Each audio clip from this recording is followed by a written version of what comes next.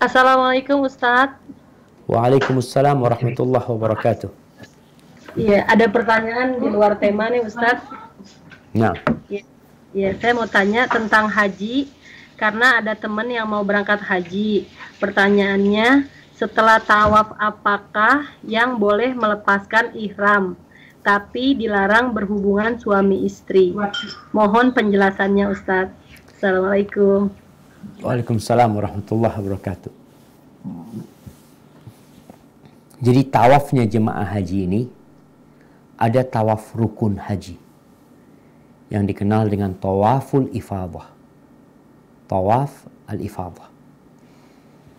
Ketika jemaah haji berangkat dari Mina menuju ke Arafah untuk wukuf di Arafah. Setelah wukuf dari Arafah, dia bermalam di Muzdalifah. Setelah bermalam di Muzdalifah, kemudian dia menuju ke Mina untuk melempar jumroh dan memotong kurbannya. Ketika dia sudah melempar jumroh dan memotong kurbannya, dia ketika itu boleh tahallul.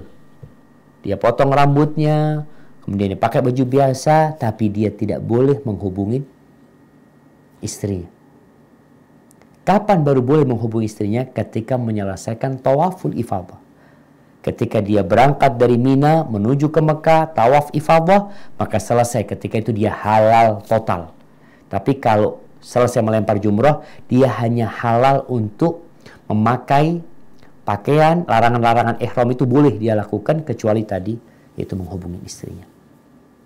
Jadi dia boleh menghubungi istrinya setelah melaksanakan tawaful ifadah. Ini buat jemaah haji.